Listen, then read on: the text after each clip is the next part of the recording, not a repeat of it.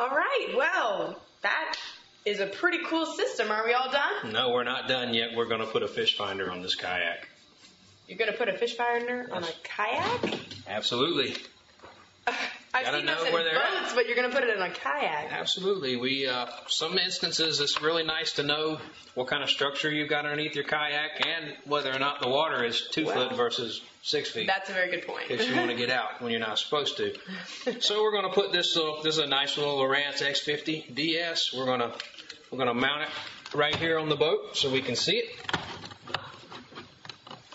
right where you can reach it, huh? exactly. And how are we gonna mount that? More holes? We're going to drill a few more holes, but these are these are easy holes. There's not going to. There's only one hole. Everything else we'll just screw some screws in. But we'll Okay. we'll mount the fish finder there, and then a lot of people. The biggest question I get is where do you put the transducer in these things? You can't. I mean, a lot of boats, you know, you can drill them to put drill them through the bottom or put them on the bottom, but we don't want anything like that. So what we do is we actually let the transducer shoot through the bottom of the boat because the material is similar to, to the plastic that the transducer is made out of. Okay. So the signal will actually go right through the bottom of the kayak. And if say if this was the bottom of the kayak, we're going to actually mount a foam pad, what we call a donut. Donut. We're going to glue it to the bottom of the boat with with regular spray adhesive. Okay. It only takes a few minutes for that to set up.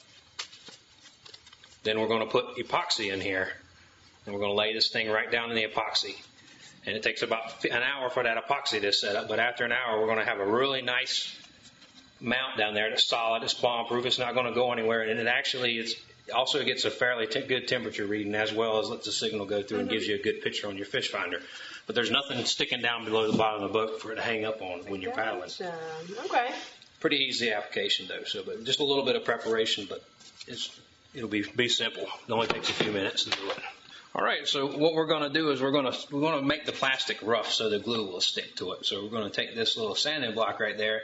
I'm actually going to let you do this too. Okay. And if you look through there, there's two little. These are your scupper pole holes right there. That those columns. I want you to sand a little area right between those columns there, probably about the size of this this foam block here. So just Okay. just don't worry about messing anything up. Just rough it up a little bit.